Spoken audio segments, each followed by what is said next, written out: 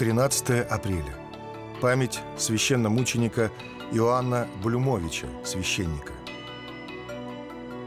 Иван Александрович Блюмович родился в 1888 году в Варшаве в семье рабочего. В 1918 году Иван Александрович с женой переехал в Москву и вскоре был рукоположен во священника. С 1926 по 1937 годы отец Иоанн служил в городе Кривой Рог, в городе Орехове Запорожской области, в Покровском храме города Судак в Крыму. 29 июля 1937 года священник был арестован и отправлен в тюрьму в Феодосию, а затем в Симферополь. Узнав, что сын священника живет в Варшаве, следователь предъявил ему обвинение в шпионаже. Отец Иоанн категорически отверг это обвинение.